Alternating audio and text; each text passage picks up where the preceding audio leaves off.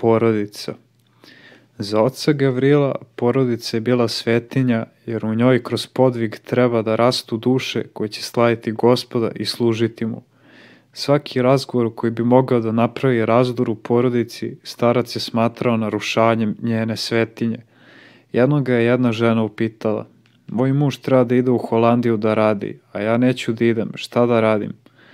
Dobro je što nećeš, ali kuda ide tvoj muž, treba i ti da ideš. Ako se porodica raspadne, to bi bilo mnogo veća nesreća, odgovorio je otac Gavrilo.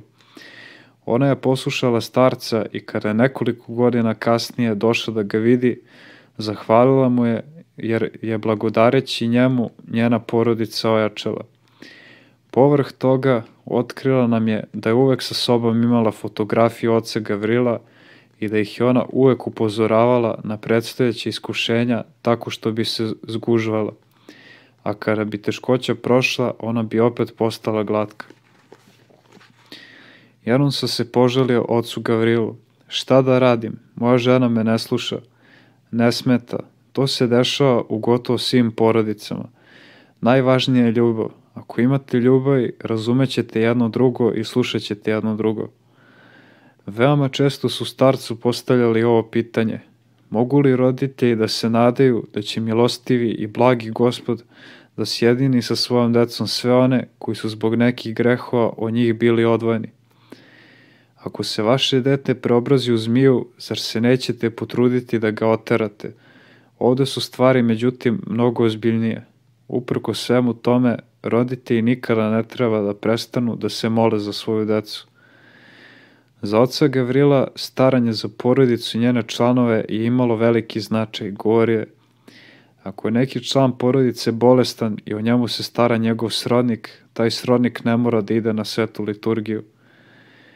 Jednom sam zamolio starca da se pomoli za jednu gospođu koja je bila bolesna i mnogo se zlopatila. Nisam rekao ništa više od toga.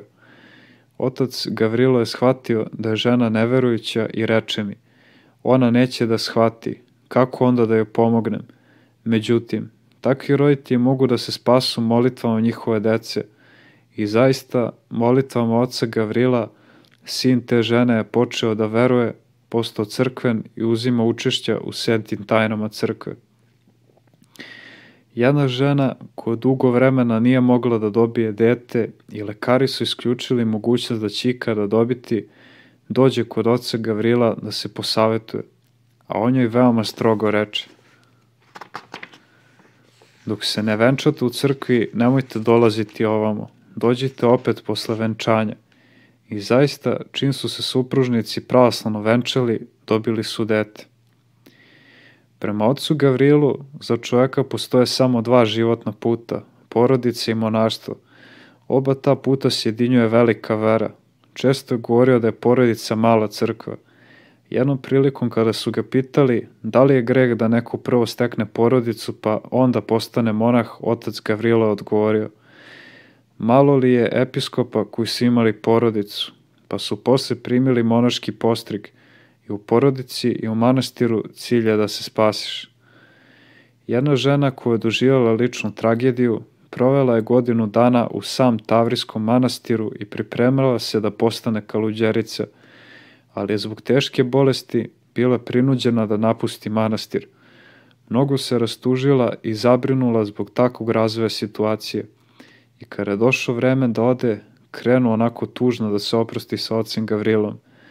On ju je umirio svojim uobičajenim humorom. Ne boj se, možeš se spasiti i prodajući sladoled u parku. Ali onda veoma ozbiljna lica podiže jedan kamičak i baci ga. Tvoji gresi su kao kamičak u okeanu milostivosti gospodnje. Pa pokazujući manastirsku kupolu dodade, ali ovo je nešto veliko. Otac Gavrile, Gavrilo reče tu trudnoj ženi, dete čuje i zato treba već sada da mu govorite o Bogu i tako ga odgajate. Ma šta kažete, oče Gavrilo, kako je moguće da dete čuje utrobi svoje majke? Znači, ne verujete u to. Pa okrenuši se prema majčinom stomaku reče, ej, zar ti ne čuješ reč gospodnju? Toga časa dete poče tako snažno da se rita u majčinom stomaku da se ona pobuni – Dete mi ne da mira, mogu li, molim vas, da izađe malo napolje? Otac Garilo je bio direktan i strog prema onim ljudima koji su imali odgovornost prema drugima. Jedna žena mu se poželila. Mnogo sam zabrinuta za moga sina i muža. Šta će sa njima biti? Nisu bliski crkvi. Stalno razmišljam šta će im se desiti u budućnosti. Hoću da ih dovedem k vama. Otac Gavrilo joj se prvo ljubazno obrati. Ja bih želeo da ih upoznam, ali šta ste vi po zanimanju? Ja sam nastavnica. Kada je otac Gavrilo to čuo, strogo je reče. Znaš li šta si? Znaš e, šta je posao nastavnice? Znaš li koliko je velika nastavnica pred Bogom? Zar se samo za svoju decu brineš, a ostala deca te se ne tiču? Kako ćeš polagati račun pred gospodom? Prema svakom detetu pred Bogom imaš obavezu i on će od tebe tražiti da za svako dete položiš račun.